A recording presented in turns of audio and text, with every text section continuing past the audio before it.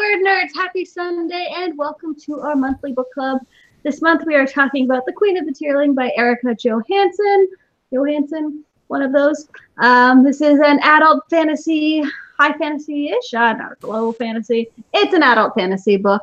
And I think we're going to have some mixed opinions. So let's jump in with our ratings. Emma, you are first. Oh no, I'm. uh, I've been yeah. like debating for the last 24 hours since I finished this book what I should rate it. Go with your heart. I think it's like, like. Sorry. uh, yeah, so it's probably like two and a half stars for me. I do not like this book. Ooh like it's really hard for me to think of anything that I liked about it. Did you finish it or no? Yeah, I finished it yesterday. Okay. So, yeah. By the right, let's mix it up. Given on so. uh, Rachel. Uh, I gave the first one four out of five. Um, I liked the unlikable main character, and I liked a lot of the cliches that she wrote out of um, you know, having like the most beautiful queen and the chosen one, and um, but I do understand why a lot of people didn't like it because it took me a while to get into this book because it was very weird, um, and this like the second and third get even weirder. Mm-hmm. Uh, but I personally enjoyed it. And Meghan, um, so I'm gonna say three. Um, it took a long time to come to that.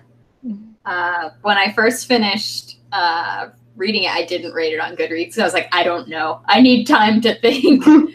um, but in the end, I feel like it was fine. There were things that I know I didn't like because it just like wasn't for me, and then there were things that I found incredibly frustrating um, that I'm sure we'll get into. And there were a couple things that I did like, so um, I'm sure we'll talk about all of those things. I think for me it was like a four and a half star. I really liked. I don't know. I just like the here's how to run a kingdom. Like just we're in a like super stressful situation and have to go from the day to day stuff of rebuilding this kingdom that is in a pretty dire circumstances. I just found that stuff interesting. Kind of like mm-hmm. the court politics, but without much of the court stuff of just like mm-hmm. you've got the queen and she's pretty much calling the shots. But I liked that stuff. And I don't see a lot of books that do that same kind of thing.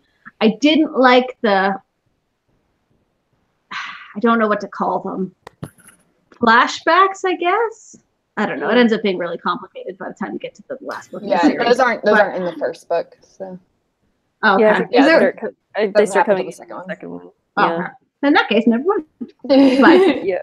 Um, there's yeah, there were some slower bits for me. Like it wasn't a perfect five star, but I really liked it. I've read it twice, but I do have trouble remembering the specifics of what happened.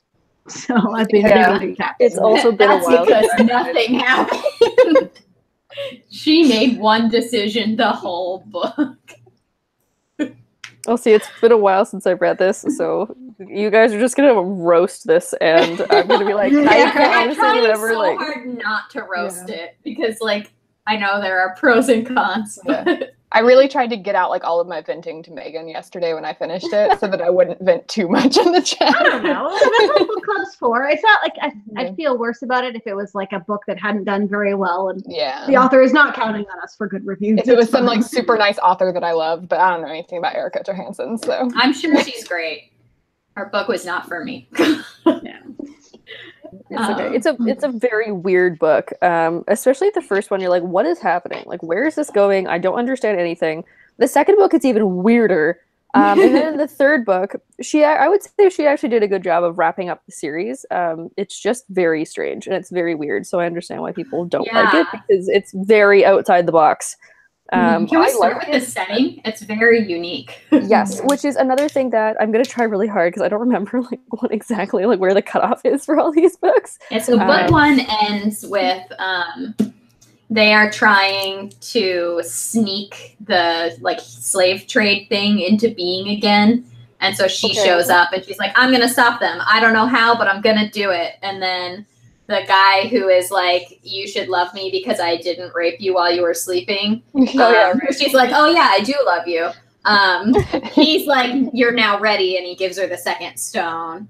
Right. And they and like then, combine, and she just wrecks them. Yes. Okay, I do remember that. Yeah, yeah. Um, yeah. The the the thing with that is like it's, yeah. Um, the world is just very strange because it's like some things are modern, like there's like oh we have electric lamps and, but we also live in a medieval kind of town and like that was hard for me to get into as well. I can see Um, how it could be like a it's a cool idea. I don't think it's done super well, and I think it felt very unnecessary.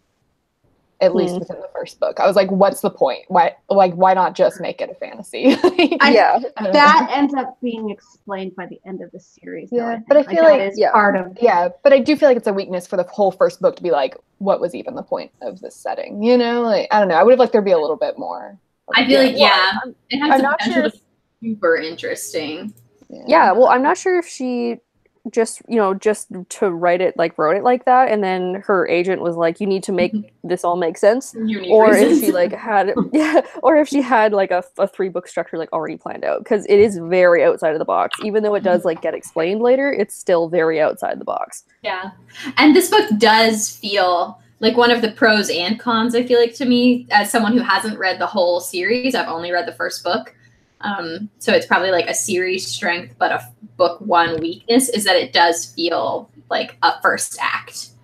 Like, yes like it is just a first act to something that Mhm. was obviously meant to be a series. Mhm. Yeah, it doesn't feel like it like can stand on its own at all. yeah i actually really love the second book just saying Yeah, I've heard really good things about the second book, and then I've heard I read about the ending because I knew I wasn't Yeah. going to read it, and so I've seen people who like loved and people who hated the ending. yeah but we won't I- spoil books two or three for those of you Yeah. watching who haven't read it yet and want to.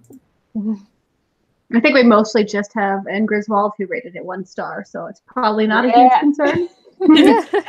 Since we have seven people, which is pretty solid for a book club, who are here, so welcome seven people who may or may not have read the book. One of them's me. Oh, right. Six people. hello, six people. um, yeah, I found the setting really, really interesting, and I I assume that later books you get a lot more because I do know that in later books you get a lot more of the history of the Tearling. And I Mhm. wish we'd gotten more of that in book one because there were moments where I felt like um, uh, it just felt a little uneven. Like Rachel said, with the they have electricity, but the only medicine they have is birth control, and or um, she has like the works of J.K. Rowling and a book of Grimm fairy tales and stuff, but she says that the the red-headed girl is telling a story that she's never heard before about a princess with really long hair and a prince who climbs up it. And it's like you have Harry Potter and all of Grimm's fairy tales, but you don't know Rapunzel. Mhm. I think that Uh, was actually, yeah, that was one of the things that like the series overall did really well, but the first book didn't, where there wasn't quite enough. Because if I remember correctly, they do mention in the first one that they, they found another continent that had magic. And I was okay, like, yeah, oh, that was my other question. Was like, so this is a believable future that has magic, but not medicine, and I I'm sure Yeah, you have a reason. I know you mm-hmm. have one because you mm-hmm. couldn't get away with not having one. Well, Yeah, did she okay, mention? Did she mentioned in this book? This isn't really a spoiler. I because I read about the other books. Now I don't remember if this is mentioned in this one or not. But the whole thing is supposed to be like they brought doctors, Yeah, but like the ship, the that's in doctor. this book. They they were like, let's put all of the doctors on one Yeah, ship. one That's the plan. And then, then that that ship ship capsizes. yeah. Yeah. Like, cool. Yeah. Great idea, Yeah, I, William I do Tearling. think all of it was like the books and stuff. That is all super explained, and it, it is kind of the twist at the end, so you can't like half explain it. Yeah, it's a really like I, I can't swear really on this channel, but like it's a really like it's a mind warp. Oh my god! At the end of it, it's like it's so weird that you like need to take a minute to like fully comprehend what just happened. See, I think I Um, liked the end the least of all the things. I mostly remember being confused, but we won't. We'll get into it. Yeah, yeah. The end of that book was very very strange. But- I, I was also very confused as what was going on and like who was going where and what have you. Yeah, I did. I really liked um, in this book, all of the like jumping around to the different characters. Um, and that kind of like goes along with like all the intrigue or whatever, just like getting to see all the different parts of the kingdom, um, at least in like the social classes or whatever. Mhm. Like, I don't know. I found that very I compelling. always like I liked all of the scenes that were from characters other than Kelsea's points of view a lot better than all the stuff. from- I don't like Kelsea. yeah. Yeah, I was gonna say like, what do you guys think of her? Because like I, I liked the fact that she was an unlikable character, but I didn't really like her. See, I, I, wish that the stones had devoured her Yeah, and picked a new way. I, w- I wish the Caden had found her at the very beginning and just assassinated her. Wow. And thing, I feel like she's not like I don't want to call her unlikable because I feel like there's like there can be good things about unlikable characters. Like I support there being unlikable like characters. Uh-oh. Want to hear what she has to say? Um, I think I feel similarly to what she was going to say, which is that Oh, Emma, you're back. Okay. Okay. Sorry, you froze for a minute. you froze, so we didn't Okay. get any of it. Female character. Oh, no. Oh no, it's all. Oh, there, you're moving. Okay. Never mind. Move on. Obviously, don't want you to make that point. Yeah. Um, I think I felt similarly to what I think you were going to say. Um, I felt like she was unlikable, but it didn't feel super intentional. like it felt like we were supposed to be rooting for her always, but she would do things like um, I don't know. Like there's a place for girls who are fierce and stuff, but she would do things like she saw that older woman and thought that she couldn't possibly have kids because any child would be cannibalized by her womb because the woman was older and looked like she cared about her appearance. and Because obviously, if you can't bear children, it's because you're an awful person. yeah. if only that was true, there would be a lot less terrible people in the world. and just like the general it, in a lot of ways it was like this obsession she had with people's appearances. Mm-hmm. Yeah. like if someone was pretty she hated them. If someone was a bad guy they were fat. Like the bad guys were always described as fat. And like those were things that felt more problematic to me than just like i'm trying to make this character unlikable to you Mhm. Yeah, Yeah, it definitely felt like you were supposed to like her. Like I feel like everybody in the story was like, except for the bad guys. were Everyone was like, "You're so so amazing. We're immediately loyal to you." And I was like, I would not be loyal to her. She's awful. like I think I, I get where it was going because I I kind of got the impression that it was like especially over the series like as she gains confidence and stuff like at the very beginning she's very much so like I'm ugly and everyone's like hey guess what you're ugly and she's like yeah I know I guess I'm ugly so but then she's still going like I'm gonna be fierce and I'm gonna be strong instead of being you know pretty and, and not doing anything so you're supposed to be like oh I like you because you know you've decided that you're gonna be strong anyways but yeah, then she did have a bit of a bias against pretty people or just anybody else that was not like ugly. I don't know. It was kind of weird. And then you have like this, Because yeah, like you have like the super hot assassin dude whose name I can't she's remember. so obsessed with him. i thought he was really old i was very confused i was under the impression he's in his 50s oh well, I'm. God, I was kind of weird because I'm like, are they supposed to fall in love? Like, I don't get it. So I was like, I'm. Do I like you? And I'm like, not really. You're kind of an awful guy. And then also like she's kind of an awful girl, but like I'm supposed to like both of you, and I'm supposed to like you together, but like it's supposed to be like a pining love thing. I don't, it was it was weird. I didn't. I, didn't think didn't I was enjoy supposed to like him. I, I read it as like kind of an unhealthy obsession. i read him as Okay, yeah, yeah. unlikable Mhm. very easily Like in like a Morgan way that i understood a lot more Mhm. Mhm. I'm also trying to remember if the like if the immediately loyal thing because I thought when they first got her it was like you're probably gonna die but we're supposed to go get you and then she like freed. there them. was some Still of that, become yeah. loyal to her pretty quickly though. Mhm. Well, I think everyone's just. Well, the alternative. Everyone in that kingdom is terrible. yeah. yeah, right? yeah, for sure Oh, okay. I don't get like why all of them were like so loyal to her mother that they like wouldn't tell her what was going on when her mother was like a terrible queen. I'm like, why are you mm-hmm. so loyal? Yeah, I Like, they're all like, that. oh, we're not going to prepare this girl for like the reality of what's happening in her kingdom because like her dead mom told us not to. Like, why? Yeah. True. Like, We're I feel like gonna it's her live in the woods for a while. I feel like it was a really convenient plot device so that like because there was so much information. and so that Kelsea would be surprised and all this stuff, and it didn't feel realistic. Like really, like I don't know. I don't get why Carlin would be like loyal to this like terrible queen when Carlin's this like progressive liberal. Like, why is she even like upholding like a bloodline monarchy? I don't understand it. Mhm. yeah, yeah. Wait, did we ever find out where she got the scar? no, Because she had to have the necklaces and the scar. No, it never says. Okay. Yeah, Just I- that that- someone that did it. comes up at some point. I don't think it was super relevant. It was just kind of they stab a baby they so you could brand recognize it later. baby? Yeah, maybe I could be remembering that wrong. I'm Yeah. terrible. Yeah, I think it's just kind of like implied that before she was like taken away, they like branded her so that they could like identify her later. Mm. But they never say like who it was who did it. I would guess one of the guards. they would do Hopefully anything her mom said to Lazarus. you. So, Honestly, can't remember. Yeah. So. but yeah, something Meghan kind of touched on is like a thing that really bothered me was Kelsea's like treatment, like the entire thing with Lady Andrews, who is like kind of the older, really stuck up woman. But like the first time we meet Lady Andrews, like Kelsea bases all of her like assumptions of her just on the fact that she has like a ridiculous hairstyle and like legitimately like tells people later like, oh, we don't need someone like her on our side because her hair is ridiculous. I'm like, you know nothing about her. And like as a reader, I think you're supposed to be like, oh yeah, this lady's ridiculous. And then like, yeah, Hmm. later when when we get another scene with her, and you do find out that Lady Andrews is not a great person, but like Kelsea you don't know saying things first. yeah, and Casey Casey Kelsea saying things or thinking things about like, oh yeah, any like child in her womb would be cannibalized, and like she also Lady Andrews is the one that Kelsea is like, um, it, even worse than being ugly is like being ugly and thinking you're beautiful. I'm like, what?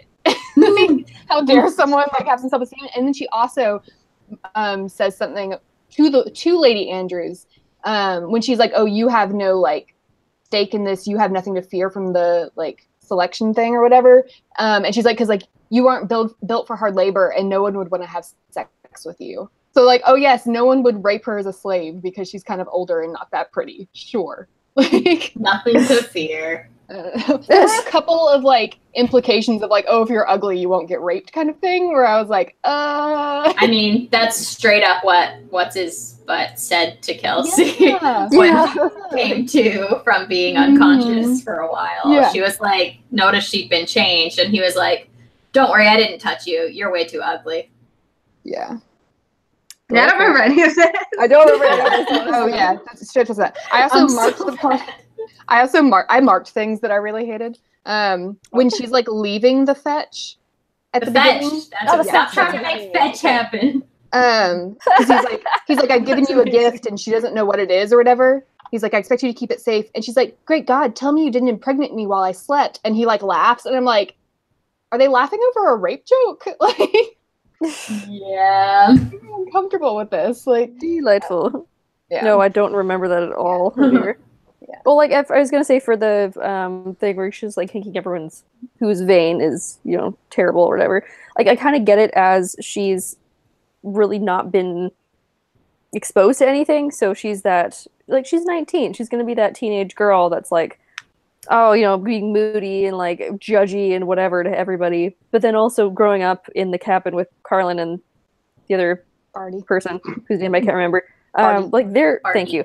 Yes. Oh yes, Mhm. right. They're so good. Um, but like, didn't if they would have like you know talked to her about that or been She like, hey, have, like, bad. Like, Incidents where like they definitely talk about Carlin giving her some of those ideas that like vanity is basically the worst thing possible. Like she puts on a pretty dress and Carlin like burns it in front of her or something. oh, that sounds somewhat familiar. Because of the like ridiculous people thing and judging her just off of her hairdo or whatever. I read that kind of like Katniss and people at the Capitol. Like she's not going to stop Mhm. and get to know those people before she realizes Mm-hmm. Yeah. they're right. they don't have the same priorities as she does. I guess it just like Yeah. bothers me for a character that's supposed to be like amazing and like thinking of the people. I don't know. It's just But for the way her character is, you're supposed to told you're like supposed to feel about her character, it just didn't like line up for me. And for a character who consistently faces prejudice for being ugly, despite the fact that all descriptions of her would lead me to believe that she's actually super hot, She's I like, don't think oh so. my I think- She's like, oh, my dark complexion and my startling green eyes. And I'm like, I'm not thin, but I'm not like too big. And I'm not this and I'm not that.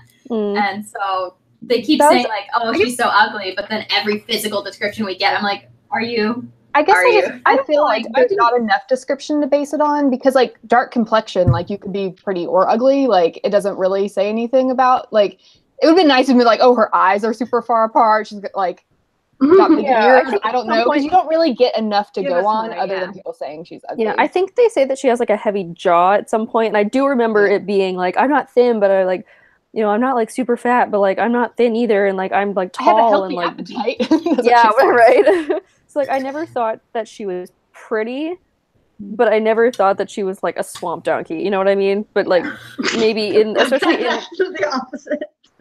Pretty to swamp talking. yes, but like I never thought that like in you know maybe it's like court people are like super vain and super pretty. Maybe. So I, but maybe that's it. But like I Yeah. thought at most she was just just- plain. Like Yeah. I don't know. I found myself getting so frustrated with the treatment of fat people in the book. Mhm. And like like I said before, like all the bad guys, except for the Red Queen herself, were described as being fat. When Kelsea talks about being not pretty, her weight is always something she thinks about. And I didn't feel like there was enough about the world to make me believe that that would be like society's huge priority. mhm. And on top of that, it just I don't I found it incredibly frustrating. It was just like every time it came up, it was like, this is bad. And it was never challenged. Just No, like I how it was never challenged. Oh, go ahead. I I just I never remember all the bad guys being fat. Like I'm I remember it being like a couple characters were. I remember some like disposable guard was talking about how he was chubby because he was like eating on his um like during one of his shifts. But like I don't remember any of the bad guys being Most of the fat. bad I can't remember who the bad guys are. It's like the uncle. It's like her uncle and Thorne is the guy who's like trying to do the slavery.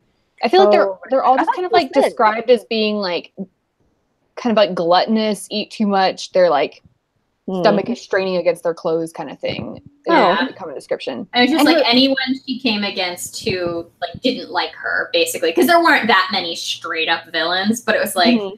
if she came across someone who she didn't like that much, I started like keeping a tally of it at some point. There were it was a lot. Yeah. And her uncle is like described like he's like a villain caricature. He has like a curly must like or, or curly thin beard and stuff. And I was like, oh my gosh. I loved her wrecking his life though. I Yeah, will say was- that. Oh, so good. That was was like the one of the good parts in the book. Yeah, with all of Yeah. his I don't is this in the first book with like all of his concubines? yeah. yeah. It's just like F, like F's him She over just like completely. takes them. Although of course So that, wasn't, that wasn't even Kelsea. Kelsea was unconscious during that. That was Lazarus who did all of that to him. Oh, I yeah. honestly Yeah. don't even remember like She oh, wakes man. up and like and she's like, Kicks What did you do to my uncle? Like she finds out afterwards, yeah. Mhm. She And then she like something- stands up for the redheaded Yeah. concubine I did like that. who was freed. There's also the husband of, Of that one woman. Yeah. Uh, the, The um, abusive what's her name? What's her name? Andalou. Uh, Really is her name. Andalou, yeah. I really Mhm. liked her name. That was pretty. Yeah, I liked Andalie and Marguerite. Like I felt like Yes. I was like finally some like positive female relationships here.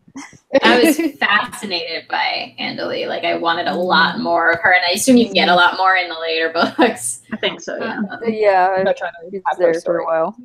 yeah, you get like hints that she has powers, and just like she was better at telling when something bad was going to happen than Lazarus. Like Lazarus Oh is all gosh. like he's number one at finding bad guys, and then he just Never like lets an finds assassin into her bathroom, and Andalu's the one who's like something bad is going to happen. Yeah.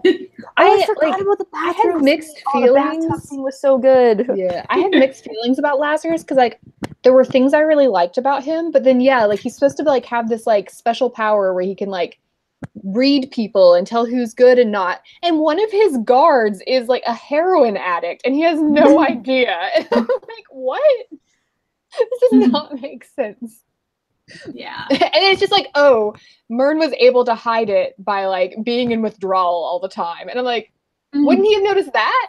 He was in Yeah. heroin withdrawal? Like i don't know. That was weird. Mm-hmm.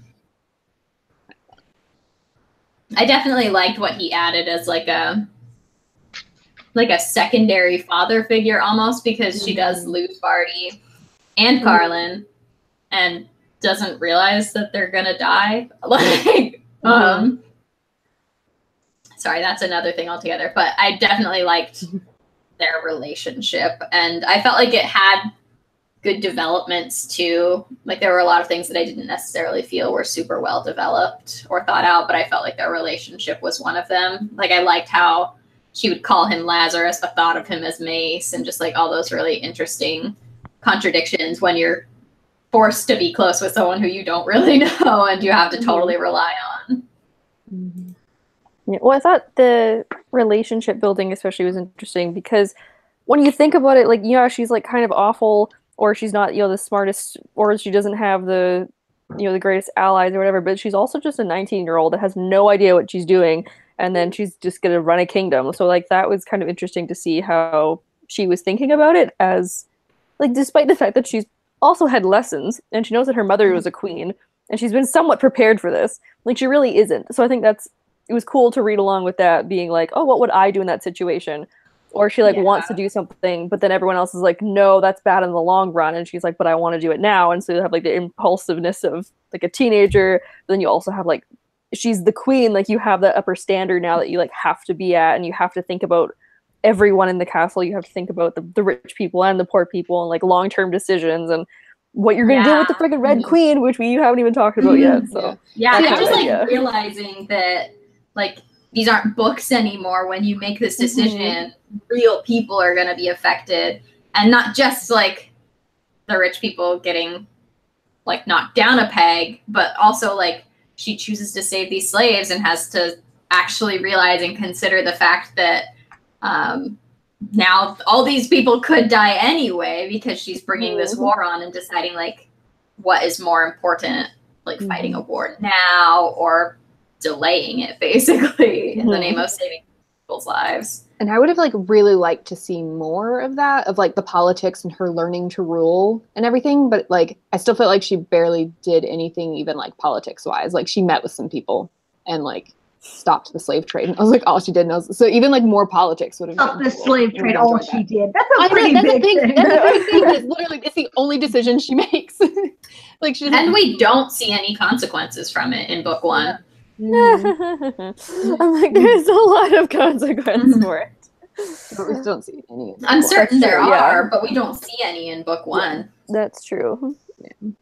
like deciding to end the slave trade was the only i feel like real action that she made in the entire book and obviously it was like a huge decision and a lot of stuff was riding on it but like all the stuff that happened in the climax it was just based on this decision she made a hundred pages in Mhm. like nothing really compounded, I guess, to make it a really explosive ending, despite the fact that it was literally an explosive ending with those stone thingies. Which also bothered me that it was just like I just have these magic stones. I'm gonna solve everything with them. I don't even know how to use them, but Yeah, I remember the thinking, like, what is happening right now? I could when? get on board with the stones maybe if I hadn't felt quite so much like the fetch had just held on to them until we needed the book to end. Mhm. But yeah, I um, definitely feel like the Red Queen is a super pointless villain. she just like stands around in her chambers like raping slaves all the time. That's all she does the entire book. And being like and being like, "Oh, I can't find this girl even though I have all this magic." And I'm like, "Really? You've had like 19 years to find her." and she was just in the cabin in the woods in like a small kingdom. Yeah, I don't exactly. understand. I don't know. I felt like she was just very like we were told to be really scared of her, but I never felt scared of her. Like nothing ever like actually made me feel Yeah, about her. There, like, there was a, a part of her that I really liked, which I honestly can't remember if it's the first one or if it's in later books. Do we meet the demon character in the Mhm. first book? briefly Okay. at the end. Yeah. okay, I like the demon character in her. I think that's a really interesting relationship, or like whatever the heck's going on there. And I like the idea that like she is like she has the ability to take over the other kingdoms. But I'm just like, girl, what are you doing? Like you have all this time and it's and money and magic and you're just sitting over here like having chats with your demon friend like what's going on like what are you doing like just start already just start Yeah. the war i don't Yeah, care she like, was do she was taking no action. She was just like waiting for other people to do things for her and like complaining about it not getting done. Like that's all she did the whole book. And the demon kind of like gave a hint that maybe there was a reason Mm-hmm. why she was not moving at all for an entire book. But again, like it didn't come in until the very, very end of the book. And so I just I would have loved a little bit more tension. And I get that maybe this is in part like a like an adult high fantasy versus like a young adult or a middle grade high fantasy where things tend to like move a lot Faster. faster. And so this it was very like buildy, uppy. I'm sure in later books it gets really epic, but as a standalone, like it just didn't catch me. hmm Yeah, a lot of it is explained later. So Yeah. Yeah, which is unfortunate because I I guess you know with you guys you probably wouldn't read the sequel. And i know a lot of people will probably be put off with the sequel, which sucks because the sequel and the the th- I mean the third one's like okay, they're like it explains a lot more. It has some really great scenes, but I know a lot of people are going to be so put off by the first one that they're going to be like, well, screw the rest of it. Um, which is I don't know if unfortunate. So I wish like, she had it's like not an average of four stars. Like Oh, four really? out of eight. Okay. Yeah. Yeah, it's it's a well reviewed book. It's just Mhm. not for everybody. It definitely, Yeah. I don't think it didn't do as well as the publishers expected it to. Because I remember when this book came out and there was a ton of buzz around it. Yeah, they were like, seven "You're dollars fucking money, and it's going to be a movie with Emma Watson and all this stuff. And oh like, yeah, I forgot about that. that movie is Yeah. not going to happen. I don't think. Yeah. like, there's no news on that because I don't think it sold as well as they thought it would. hmm And part of that is that I feel like the marketing was a little weird. Like they were like, YA fans will love this, but it's not Mhm. YA. Don't consider it YA. Don't shelve it with YA. But like, and I get like why, because it is structured a little differently than a YA book would be, and the pacing is different. But I feel like, especially when this book came out, that was kind of to its detriment that they didn't just start shelving it with the YA. Yeah. Well, again, well, like when I'm trying to think, like when we have, like, I work at a bookstore for everyone that doesn't know, and when we have, um, like teen, like two for twenty title deals, or you know, when we have, uh, like featured teen titles, we'll have Queen of the Tearling in there, but I don't consider it a teen novel at all. Just It's kind of like definitely how shelved an adult at the bookstores here. it is. Yeah, but it's Yeah, shelved an adult adult. In mm-hmm. my store, but we sell it as like a teen mm-hmm. title in You like promo um, it that way. Yeah. promos. Yeah, which is kind of weird. But like also you could say like J. Kristoff Nevernight is definitely mm-hmm. not a teen novel, but sometimes people will think it is because the main character's 17. And then also like ACOTAR, which is like Sarah J. Maas's like Court of Thorns and Roses, which is definitely not in a YA, YA novel, but it's shelved in YA. So like I think those like m- what I guess they're technically new adult like fantasy stuff. They just don't really know how to market them properly. Um, and they're like, oh well, it's like close enough to the YA stuff, so I guess we'll put it there. But then maybe other people are like, no, no, no, like that's, you know, maybe put it put it with regular ones. People like want it to be, you know, adult fantasy or what have you, and like that's I almost Like, feel like you have pick to one. figure, yeah, pick one, figure out who the fans are. Like ACOTAR, they put it in YA because that's where her fans are, and they know the fans are going to pick it up. And kind of the same with Jay Kristoff. Like a ton of his fans are YA, so it makes sense that you're going to try and market it to those fans too, even if it's a lot darker and has much more adult structure and themes. yeah, and I definitely think something can be published and shelved in one thing and still marketed in another market too. Like I think that's yeah. definitely a valid thing. Um, but yeah, Well, I, I, I think definitely a think, it's of funny that Emma Watson was supposed to play her, this ugly character. yeah, right. When they're like, I never "Oh, thought a about main it. character. Like, what? no, how? Where? What? No, very upset about that casting choice. they never would have made a movie with a remotely unattractive Oh, lead no. anyway. Oh no, of course. Do those people even exist in Hollywood? Hollywood. Um, we had a question from N. Griswold, uh, just double checking, did the uncle die? And yes, he did. And I actually really liked that death because Mhm. it was from his point of view yeah, and it stopped mid sentence. And I loved that. I got like chills when it happened. And then we had another question. Uh, from Tabitha. Do you think there was enough conflict in each chapter? To me, it felt kind of wandering. Well, the chapters were like 50 pages long. So very long chapters. so long. And there were tons of scene breaks too. So I'm like, why couldn't you have like broken up the chapters just a little bit more? Like I get that it's adult, but like Game of Thrones chapters are shorter. I think I they definitely the chapters definitely related. There was always a chunk of fast forward history at the beginning. So it was like a chapter about the Glynn Queen, but it was like obvious that that was Kelsea. Um, and so it was kind of like we were reading a little bit of history, and then the next 50 pages would relate to that. And so it was kind of like there were a lot of, for a book that wasn't like super high action, there were a lot of peaks and stuff Mm. like throughout so it wasn't quite so much like one single arc for the chapter of those little like history snippets at the beginning of the chapters, without spoiling the rest of the series, I will say that since I know how the last book ends, a lot of those little history excerpts don't make sense in the context of the full series. Mm, yeah about that. Yeah, it makes me wonder if there's merit to Rachel's theory of like her publisher or whatever made her change kind of what she wanted to do to make things kind of make sense, but then also not make sense in areas, Yeah, other areas. exactly. But yeah, I have I have issues with the way the series ends. When I found out how it ended, I was like, I don't care how much I like this book. I'm not reading the rest of the series. That's okay. Yeah. Yeah. Well, like something. So, if, okay. So like it's very.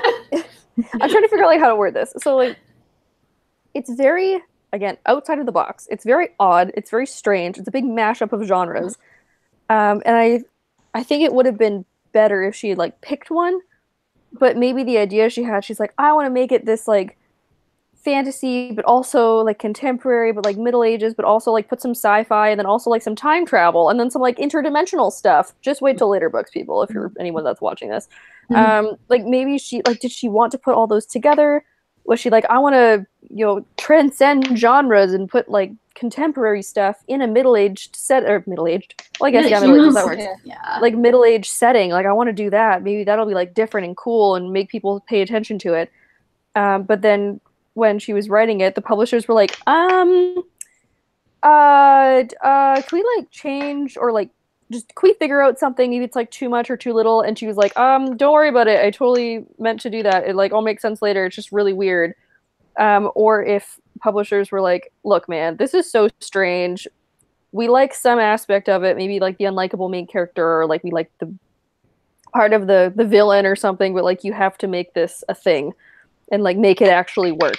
And she's like, you know what? Like screw everything. I'm just gonna put everything in here and go all out.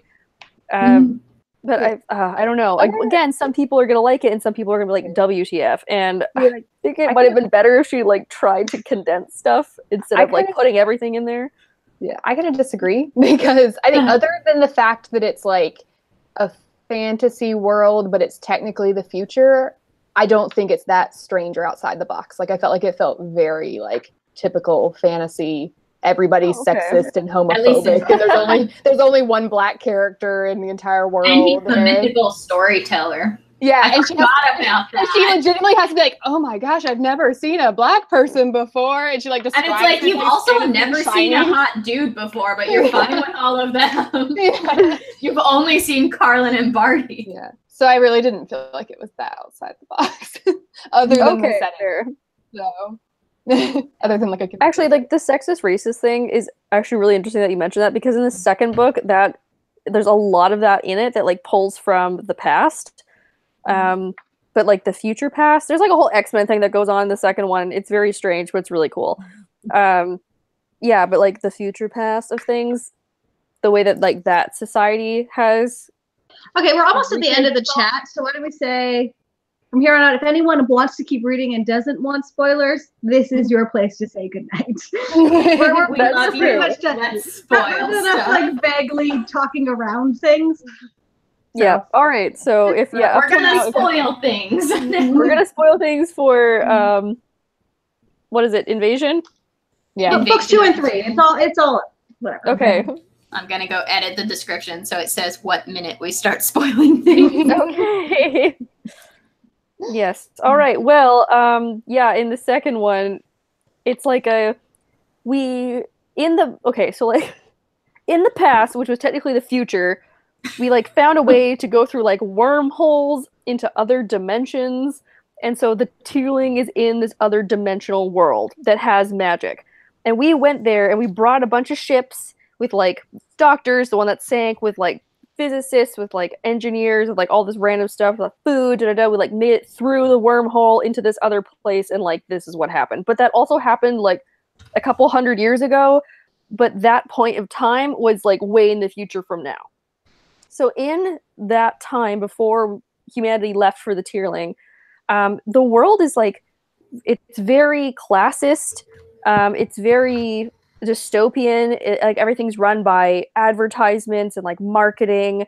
Um, everything's very dirty. Lots of security systems. But then it also like kind of has like a 1950s feel where like the women stay at home. They don't have autonomy over their own bodies. Like birth control isn't really a thing. Um, like you, if you want to have children, you have to like pay a whole bunch, and like you're not like women aren't um, like they don't have rights really. They're just like the housewives that stay at home and we find out about all this because Kelsea is having flashbacks of a person from her timeline, like from that's like an ancestor that lived during that future time, and they're like having visions of this person's life, and that lady is like one of the first pioneers that ever came to the Tearling, um, and like her husband is like this big business guy who is also dealing in something illegal and i don't think she wants to have a baby but like he wants to have a baby and he's also very abusive and like rapes her a whole bunch which is really creepy and terrifying. Um and like that world is very racist it's very classist it's very uh, there's like no feminism there's like absolutely nothing it's just an awful cold business like marketing world uh, where everything's about money and that actually like it would make sense that if some people brought that mentality over to the Tearling when they went through the wormhole that that would stick as a mentality for the rest of the people but that was also like a couple hundred years ago like don't you think that someone would have figured out feminism or racism or something in that time i don't know like your past three rulers Sorry, have all it's been have like all been queens and women, but like sexism is huge. Also sexism. Yeah. Mhm. So that's just like a point Okay. I'm like, because I feel like I remember this book being like marketed as like it's a feminist Game of Thrones. It's gonna be super feminist and all this stuff, but it's like still dealing with sexism. Like I don't know. I was like expecting something more, you know. I guess. But now don't we can talk about any the LGBT characters either. Yeah. I don't Yeah. remember a single one, and it's like gay people just stopped existing. Well, well, there's a whole thing about there's like a group of people that are in charge of like hunting out gay people and taking care of them or something. I don't know. Like there's a ton of homophobia in the world. Which, like, without knowing that extra Handmaid's Talesy backstory, I was like, so you're real telling me in 300 years, like, we regressed this much? apparently Mhm. well, With, like, honestly, with that or your guys' president, it's like- not really that outlandish, but Yeah. Ugh. Ugh. Yeah. So basically, the ending of the book is that nothing ever happened, which I hate. I hate. None of this, like, I not just in this book, in all things. This is the worst thing. Mhm. It's like- why did you read any of Like, this? never Nothing happened. happened. all the stones come together and then we like go back in time and then like everything's happy peachy like it's yeah, yeah. But it It's- also jumps forward to like where the characters are, yeah. so you see how their lives would have And gone. Kelsea's like the only one that remembers what she did. No one else. Yeah. knows. Yeah. And like, and that's where I'm like uh, these little history snippets that are written as if they're like after her reign or something, being like, oh, the Glynn Queen, like all these things that happen. And it's like none of this happened because Oh, she that's true, reverses actually. I didn't everything. She she doesn't actually ever. She doesn't rule for more than like a couple years. like, maybe she wrote them who knows She's like, Dear Diary, I was an amazing queen. There's like one where it's like a woman writing about like when she was a child and her grandmother would take her to this like statue of the Glynn Queen and her grandmother would be like, You wouldn't exist if it weren't for this woman. And it's like that doesn't you happen. don't exist, period. well see that's the alternate timeline like i don't know it's Mhm. super weird So Yeah. not really sure interest why not really sure why she decided to combine like 12 different things all together Yeah, I, I hate. I don't- I was whole, fine with the combining until the- thing. Yeah, the reset button. though. That is the only thing. that Yeah. There's no getting around. Why did I read any of this? because that just kind Yeah. of like reads as like the writer wrote themselves into a corner. There was no way to fix things Mhm. other than just like resetting everything. You know, like Even then, I'd rather you just kill the main character. yeah, and, and have the world be terrible. be like, oh, Yeah. there's no way to fix it all. Sorry. yeah. I would have been really interested to see what would happen if the if the the Red Queen would have won. Mm. I think that would. I actually thought that was what was going to happen at the end, and I was like, I'm down for this. I want to know what's going to happen. Like she's not going to win. Oh my god! And then like surprise, she does. But I think that would have been cool. I don't know if she won because I feel like right before the like reset, they were like about to get through the doors and kill everybody. Yeah, which was why I was like, yeah, I'm down for this. Like I want to know what would have happened. That would have been cool. Just said fuck it. It's an adult book. We can swear it's fine. That's true. Okay. Yeah, the word "fuck" is in this book, so yeah, that's, true. true. There's a lot. Let's talk about how like the end was really mind fucky, but I was like, I don't know if I can. Can I say that online with our audience? We used to not, but then we like rebranded, and now we got this True. rekindled. It's all very confusing. We won't swear we? next month or yeah, Yeah, next Middle month. grade is next. month. we won't swear when we talk about furthermore. Um, we had a question. Um, sorry, I'm also eating dinner while we chat okay. because it's been a day. But Engerswald asked, "What was your favorite scene?" I like the bathroom scene with the assassin. She saved herself Yes. and started to discover her power, but I kept asking myself, "Why does she need to be naked?" I think it was like okay, I get it, but like It also in the it's a, I bath, think it's okay. a, yeah. Well, it's just a bath. Do you take a bath with clothes on? No. I think yes.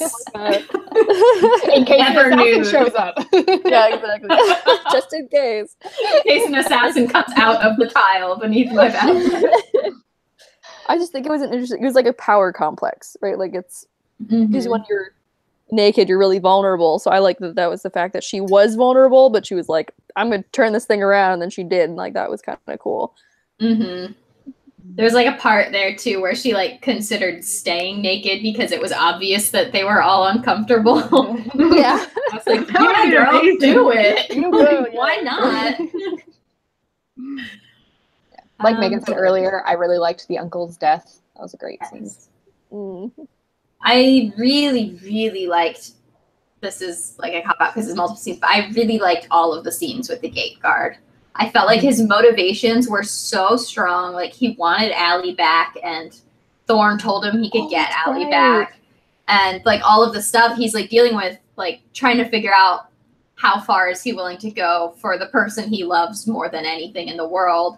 And like we get to the point in his character arc where he realizes like even if I get her back, will she ever be able to look at me again because of all the things I've done to try and get her here? Would she have ever wanted it? Like uh, I get chills like thinking about him. I would read a whole book from his perspective. I for sure. completely forgot about the gate guard, and oh my gosh, he was so great. How did I forget about like him? Javert? It's been a while, but like Javel. Javel. He was mm-hmm. great. Yeah, he was Yes. Oh my goodness. Mm-hmm. Except one last thing I had marked in my book that we haven't talked about is in one of his scenes when he meets Really? Thorne in the pub, and there's just like the random like eccentric That blind lady really trope.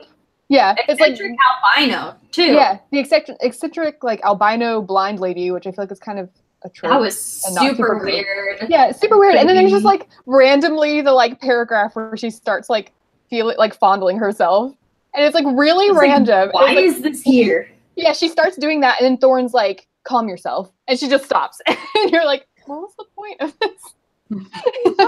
I don't remember this at all. I It was super remember. weird. The making this up, character wasn't important. Like she No. never came back. It's We like maybe all she comes back in later books, and I could have like maybe gotten over if she does. her like existing and being like, okay, maybe she comes back in later books, but it's just that like one part where she just randomly starts like Yeah. she starts like yeah like touching herself and everything, and I was like. And it, just, and it ends so quickly too. It's like it happens and then it ends and then like they move And on to other things done. and never address it again. And you're like, okay. Okay, are you making that up? I don't remember that. No, it's there. okay, It 208 is of my super weird. Yep. Yeah.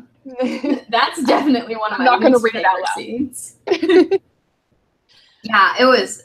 it's really There were parts that I definitely felt like, like visually and descriptively, and the fact that they didn't really relate to the plot, like that one felt very like. I want my book to feel Game of Thronesy, and this is a thing that would be in Game of Thrones. Mm-hmm. That was one of those moments where I was like, "Were you just watching a real weird episode of Game of Thrones when you wrote this scene? Like, why is this here?" Now I really want to know if that character comes back later. Is I Thorne? honestly can't remember if she does. Her name is Bryn. Or Brenna. Oh, you know, what? I she think she comes does come back. Yeah, she comes back. I feared I was like, she must come back or something. She's gotta be important. Why is this here? I complete. Yeah, no, she does, and she's weird. She get it gets weirder. Like I remember mm. being like, "WTF? Like, what is this character? Like, it's very, it's very strange." But she does play a role. She she's not just there. She does play a role. It's literally it's like three sentences, and then he tells her to stop, and then it's never mentioned again. and then she just like stops, and she like, I don't even think in the rest of the scene, I don't even think they like refer to her at all. he doesn't even. He's not even like. I feel like if someone did that in front of me, I would be like staring at them the rest of the time. Like, are you okay? Should I Like, go? please I think that's part of it too. Is that like Javel doesn't like react to it really. It just describes what she's doing. And And he's then- like, okay. And then Thorne is like, "Calm yourself, Bryn. Our business here is almost concluded." And it's like the woman subsided, placing her hand back in her lap. Javel's flesh crawled, and then it like moves on to other things. like, like I don't know, like if he'd been like, "Is she okay?" Like anything. like, does she need something? Do you guys need to have go? something like so weird and not have like the character like react or have any thoughts about it. It's strange. Um, I so think I- I think I remember her- two. Oh, I Like, remember her. executed. Okay, sorry. Okay, I remember her being very eccentric, and like everyone's like, "Oh, well, that's Brenna. Like she's super weird." So maybe that's why they're like, "Oh, whatever." Like, It definitely felt like Erika Johansen was trying to like portray her as this like weird eccentric character and was like, "Let me throw this in. It'll make her look weird." Game of well, yeah, you succeeded. Yeah. yeah, this book was weird.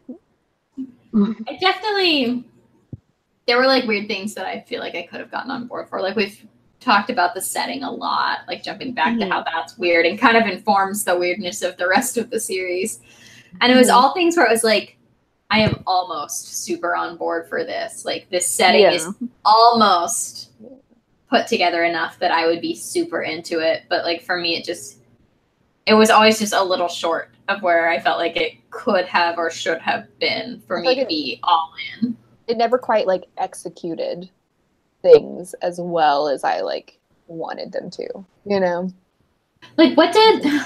Sorry, I'm changing the topic a little bit, but mm-hmm. like in book one, what did she want aside from like being queen? Like, she was like, I want to be Don't a even good know. queen. Yeah. And I like, what think- did she come against? Through a lot of it, she wants to be liked. Like that's a lot of where she screws up in book two. Mhm. because it like I'm just re- reading up on what happened to Thorne, and like eventually he's he's caught somehow and set to be publicly executed, and she's like super cruel about it because that's what the crowd wants her to do and stuff.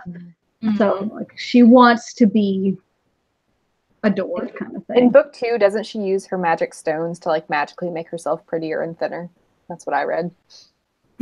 Somewhere, and I I was like, don't "Oh, cool." remember that. I read that she in a did. few reviews, and I was like, "Oh, that's cool." I feel like in book one, it's not quite as much about being liked because she doesn't really come into contact with like the peasants or whatever that often just yet. But I think she wants whatever the assassin guy's name is to Oh, like Fetch. her. And, Oh, yeah. yeah. that's true. That's very true. And I think even without re- even without interacting with the people, she definitely wants them to like like her. Mhm. And I'm not sure about the stones making her thinner because I think she starts to look like the person who she's getting the flashbacks from. Oh Like she yeah, I was- think that's, that sounds looks more right. and more like that person. So it's not something she's doing on purpose. Mm. At that point, Erika Johansen knew that like Emma Watson might be playing her. She's like, I gotta make this girl look like Emma Like Emma Watson's dad. That'd be kind of a, a fun problem to have as a writer. Yeah. Yeah, right. Well, I'm interested to see what else she'll do because this is like her only book, so I'm not really sure what uh, Does What she she'll do in else future out of her? projects. When did the Not that I last book come out? Um, Two years wondering ago? now. Yeah, 2016. Feels like longer. I, Yeah. I like I remember working in the bookstore when it came out, and like a bunch of us Yeah. that were working there were like freaking out because we're like, "Oh my god, the sequel!" Yeah. So at end of 2016, and she hasn't. There's nothing else on her Goodreads page yet. Hmm. Is she on social media? I can't find like a website or don't so. anything. Yeah. Weird. Her Goodreads page isn't even like a claimed one. I don't think. Oh yeah, on, yeah. her, on her Goodreads, someone asked if she's going to start a new a new book series, kind of like the Tearling, or will you go for another genre? And she said, "More Tearling, always more Tearling. Right now, I can't imagine writing about any other place." I Hmm. could imagine. Yeah, I'm like, That's I'm not good. a place I'm- want to live in. I Also, don't think you you ended can return to that. You yeah. can't. Like that's like you literally made it so that you can't. Like, what is unless you do like novellas, which I really don't want to read.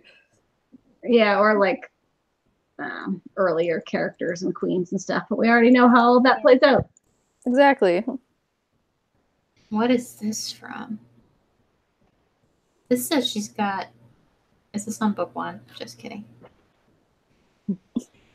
Eight months ago, she said she's at work on two more Tearling books, both of which are scheduled to be published in the next four to five years. What? Hmm. But how? I'm That's Maybe, very like, confusing. You jump back to Tear himself, or you get some of that. Like you see the first pioneers and them starting Yeah. up there, Book three. Mhm. which actually I really liked. Of like Well, like at the- modern yeah, pioneers cool. was kind of cool. At the end of the last book, are they still in the Tearling, but it's just a better place? Because that's what I thought. Is that it's like the Um, Tearling, but it never becomes the terrible place that it became. Yeah, it's because like, like, what William Tear the, visioned. Yeah, it's like only the very beginning, like couple. I think it's only literally until the character whose point of view you're in dies, and that's like eighty years or something. So you're going like you're going over there, and you're seeing them literally become pioneers in a new. Yeah. No, but I'm talking about like at the end of the book, like Kelsea's story at the end The, of the book. the reset. They're, they're still oh, in Oh, the yeah, Tearling. yeah. They're not like back in America. Yeah, no, no, no, they're in the still Tearling. Yeah, yeah. So she could but it's feasibly write books in this like better world, yeah, she could. I Hmm. guess. I wouldn't want to read them, but she could. Yeah, so trying to find- So in this jumping back, do all the same people like still exist? Like did Carlin and what's exist. his butt get to like stay alive? I know her Yeah, mother they all- raises her. Yeah, they all still Mhm. exist. Like all the the love interests, the best friends, they're all still there. They're just as other people. And None of them. They know don't remember anything. Yeah. Which also doesn't make sense because like if you all this stuff hadn't happened, then like half the people wouldn't have been born, Yeah. and like all I- the I other don't half think like, everybody is there, do anything. Yeah. But I'm pretty sure. Oh yeah, maybe not everybody, but but like the vast majority of people are there. her being born is weird to me because like it, it is, doesn't it turn out that her dad is Mhurn, the guard. Some yeah, something like that where The- she's the like the traitor guard? illegitimate one. He was her father, so it's like, how did her mother like? Her mother knew hmm. him because he was her guard. like, Yeah, alternate world, how did she just happen to meet the same person, like, and have a child with the same person? Don't it was weird. Which also is weird for a book that mentions genetics a lot. Like, her mother and Mhurn are both described as being blondes, but she's like dark haired, dark complexioned, and I'm like, genetically, that doesn't really work. Blonde hair is recessive. Like, Yeah. Also, if you have, yeah, if you have two blonde hair dominant genes, it doesn't make any sense. I'm trying to find someone on the internet who will remind me how it all ends, but I got no idea. Did we ever But I think out there's- how old the bitch is? Because I really want to know. he's like been I thought was- alive for like a long time or something. Yeah, he's like he's like- immortal or something. Yeah, oh, he's okay. from like the initial. it's that trope. He like Oh, he yeah, like he worked with the bad guy in the in the initial thing, and now he's like cursed to live for a long time. Yeah, he was like an enemy of the original Tearling guy or something. Like he was a, an original pioneer.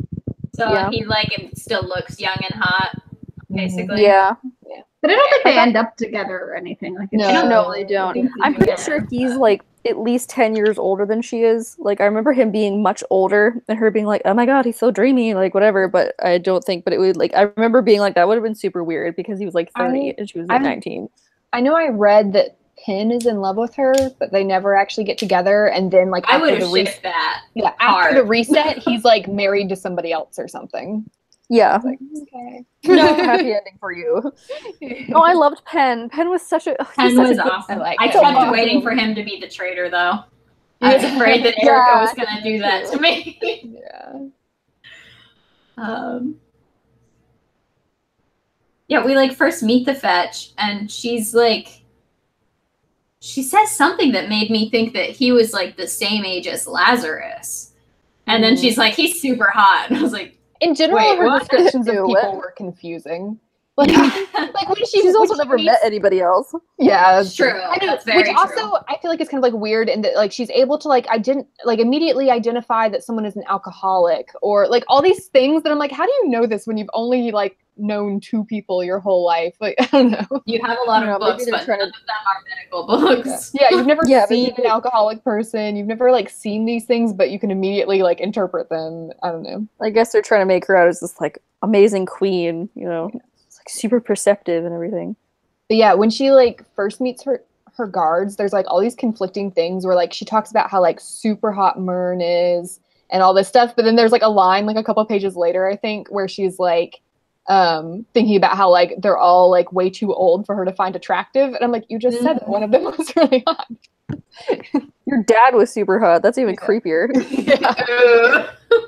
and I also I that reminded me of like a thing that bothered me is these like amazing guards who are supposed to be sworn to the queen and stuff and like supposed to like get her to the castle. It's like on their journey every night they just get like super drunk. and like and Lazarus is like, I'm really the one that's here to guard you. Like you don't have to worry about the rest of them. But the rest of them become her guards later.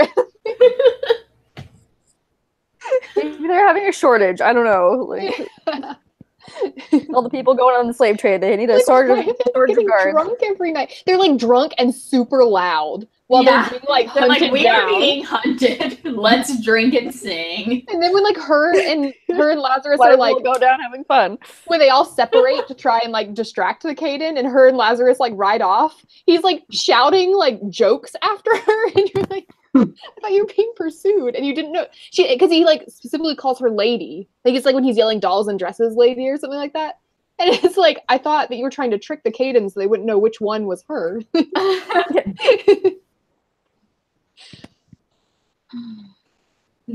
so many things to talk all about. of it was not out. like books we don't all love definitely makes for a better discussion. Mhm. Yeah, definitely. Books we all love and books we all hate are mm-hmm. both terrible for discussion. Well, I think books we all hate are actually fun because you can just like completely crush something. But we don't I do feel that. like- bad though. yeah, we've Yeah, never like if there's true. been a book we haven't liked, we've just politely not. That's true. Yeah, we haven't ever like done a yeah we haven't really done a live chat on a book that we all hate. Well, I mean we have, but like not Subtly. Not not super on. publicly. Roast. We- Yeah. Um, but yeah, we yeah we never like outright roasted like every book. Um, I don't want anyone to hardcore No. roast my books. Yeah. yeah, This exactly. is like the meanest I've ever been about a book on like a book club. So. And like Erika is so successful that I trust that like this won't hurt her feelings. like, Yeah. If she Yeah. ever finds out we didn't like her book, she'll be like, "Here's a million people who love my book." So Well, Yeah. it doesn't like it was like the 50 book. 50. It was a good discussion. Mhm. yeah, yeah, it's good. Yeah. I feel like my Yeah, books we all like are just like us constructive. fangirling. Mhm. Also, yeah, she has like a zero social media presence. Oh, we had a question from. Oh, sorry. Go ahead. I was just gonna say there's like a Tumblr and a Facebook page for the series that looks like it's like official, but like yeah, she doesn't have. She doesn't Oh, even have a website. Like she has nothing. Do we know how old she is? Old school author. She doesn't She's look 40. very old. Oh, On Huh. Wikipedia, it says she's 40. Yeah. It's like I saw Oh. her picture on Goodreads. So maybe she's just not you know with the times or whatever. Yeah, I'd I probably get mean, if you don't done if I have to be. Like, yeah. um, wait, a question that I also want to know the answer to from Ed Griswold. So, why did the Red Queen want to kill Kelsea? Was she the only one who could cause the reset, or what? Oh, I I don't know. I, I think it was the slave trade thing that like her economy kind of fell apart without the slaves. And if she has to start pulling them from her own population, that gets Yeah.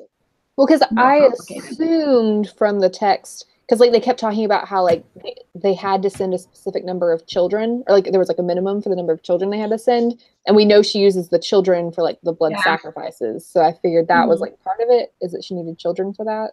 because yeah, it's not like she wanted to kill her uncle when her uncle was cooperating. So it was Yeah, this girl is yeah. But it, it is like weird that it. I don't know. I guess my question is like, is it just about the slave trade, or is there something specifically about Kelsea or about the Tearling? no, like, I think it's the what the Red Tearling. I think she doing? had ties to like the Tearling family. I think Kelsea eventually finds old portraits of people, and the Red Queen as a girl is in them, but I don't remember the relevance. Yeah. So she, there is more. Yeah. So like why she was looking for her in the first place and stuff. But I'm pretty sure that they're related somehow.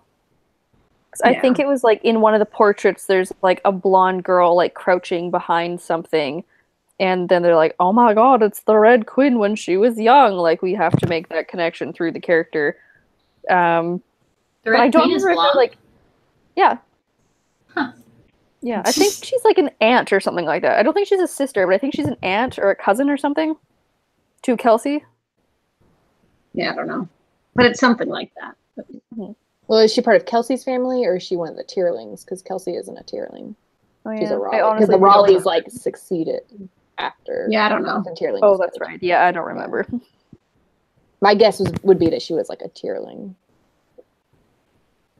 because that would Yeah, add it's some additional Yeah. claim conflict. Yeah, like she's the second sibling of like someone who was a queen or whatever, or something like that.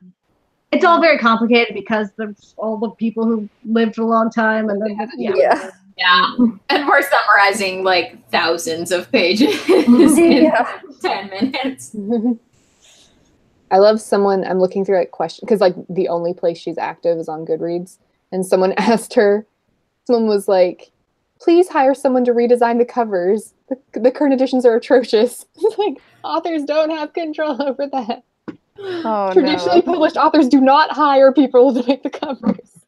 I do really like the redesigned covers though. Me too. I like yeah, they're really pretty. Yeah. Yeah, they're so pretty. I Well, we've been what the going for over- was. Yeah, we're good. This is Yeah. She may be longer chat. said she definitely will be writing more about the mace. Dope. Interesting. Mhm. But So maybe we could actually see him being good at his job. But it's like, are we gonna see his like his past, which doesn't actually Doesn't exist. I feel like when you do a reset, it just makes writing more in the world like Very difficult. Yeah. Maybe they'll do like Will and Grace, where you open up the first book and it's like, remember that dream I had where everything got reset? oh god, I hope not. I don't. I didn't I- really like the books. I don't think I'll read anymore. Yeah, I don't think I'll read any more by her as well. Like they were interesting and they definitely entertain me and they like give me a mind fuck at the end, but like I don't think I'm gonna read anymore. All right, I would say this is a pretty good place to hit pause. Thank you all so much for joining us today. This was a lot of fun. Um, we are back this week with all of our usual videos and jumping into Preptober and all of that fun stuff as we are getting closer and closer to Nano. So, furthermore, is our next book club yes. at the end of that's at the end of Murphy. October. I've Yeah. wanted to read it for so long and I'm so happy that I finally have an excuse to. And on Saturday, we will actually be like doing our quarterly video with announcing book clubs and all of that fun stuff. So we will see you all then and see you next Sunday for a write-in. Yes. I believe Next it's a Sunday is a write-in. write-in. all right, guys. Thank you again, and we will see you all next time. Bye. Bye. Bye.